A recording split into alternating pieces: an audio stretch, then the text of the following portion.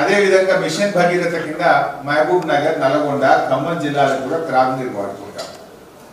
మనకు బచావత్ అవార్డు ఏం చెప్పిందంటే ట్రిబ్యునల్ అవార్డులో బచావత్ ఇచ్చినటువంటి కేడబ్ల్యూడిటి వన్ అవార్డులో ఏం చెప్పారంటే త్రాగునీటి అవసరాలకు వాడుకునేటువంటి నీటిలో కేవలం ఇరవై శాతం మాత్రమే మనము అకౌంట్ చేయాలి. ఎందుకంటే మళ్ళీ ఎయిటీ పర్సెంట్ రీజనరేషన్ కింద తిరిగి మళ్ళీ ఆ నీరు వస్తుంది కనుక you should count only twenty percent అనేది. కానీ ఇప్పటిదాకా వీళ్ళు ఏం చేస్తున్నారు మనం హైదరాబాద్ ఉదాహరణకు పదహారు టీఎంసీలు వాడితే మొత్తం పదహారు టీఎంసీలు లెక్క కడతా ఉన్నారు. యాక్చువల్లీ ఎంత కట్టాలి ట్వంటీ పర్సెంట్ అంటే? మూడు టీఎంసీలు మాత్రమే లెక్క చేసి మిగతా పదమూడు టీఎంసీలు తిరిగి మన ఆంధ్ర మన తెలంగాణ రాష్ట్రం వాడుకోవడానికి వాళ్ళు ప్రొవిజన్ ఇవ్వాలి. ఈ విషయంలో క్లారిటీ ఇవ్వండి దాని మాన్యువల్లో చేర్చండి. మరి డ్రింకింగ్ వాటర్లో మనకు బచావత్ అవార్డులో ట్వంటీ పర్సెంటే అకౌంటబుల్ చేయాలని చెప్పి చెప్పారు. కానీ మీరు మొత్తం అకౌంటబుల్ చేస్తా ఉన్నారు.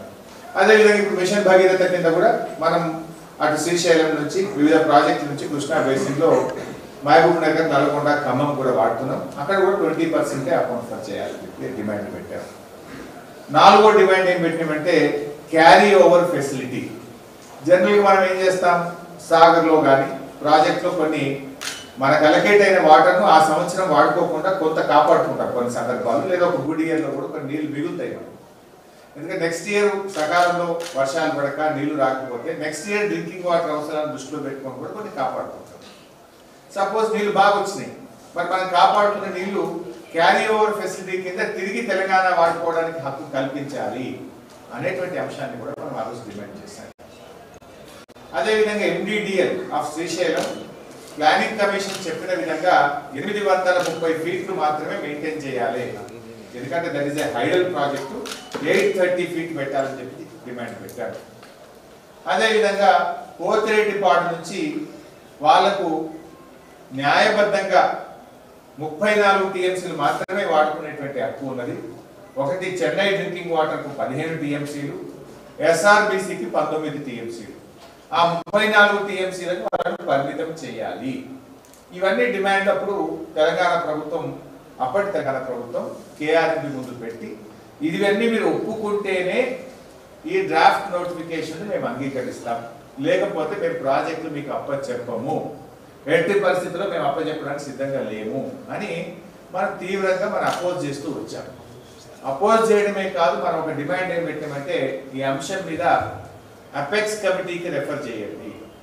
ఈ అంశం చాలా లోతైనటువంటి అంశం. మీరు ఇట్లా కేఆర్ఎంబి కేంద్ర ప్రభుత్వం ఏకపక్షంగా దీన్ని నోటిఫై చేస్తూ ఉన్నారు. ఇది మా రాష్ట్ర ప్రయోజనాలు దెబ్బతినేటువంటి అవకాశం ఉంది. దీన్ని అపెక్స్ కమిటీ మీటింగ్ పెట్టాలని చెప్పి అప్పుడు మేము డిమాండ్ చేయడం జరిగింది.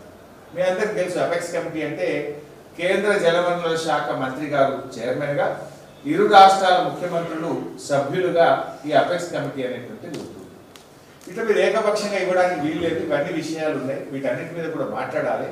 Please refer this matter to apex committee అని చెప్పి చెప్పాను మన ఏపీ రియాగ్నైజేషన్ యాక్ట్లో ఏముందంటే ఈ నదీ జలాల పంపిణీ విషయంలో ఏదైనా భిన్న అభిప్రాయాలు వచ్చినప్పుడు ఆ సమస్యను కృష్ణా రివర్ మేనేజ్మెంట్ బోర్డు కానీ జలవనరుల శాఖ తేల్చినప్పుడు ఆ అంశాన్ని అపెక్స్ కమిటీకి రెఫర్ చేయాలని చెప్పి so that we made the demand కానీ ఈ రోజు వీళ్ళు ఏం చేస్తున్నారు? ఢిల్లీకి పోయి మంచిదని ఒప్పుకున్నారని వారం రోజుల లోపల ఇవన్నీ కేఆర్ఎంకి అప్పచెప్తున్నారు అన్నట్టుగా వార్తలు వస్తా ఉన్నాయి. మరి ఇవన్నీ పరిస్థితి ఏం కావాలి?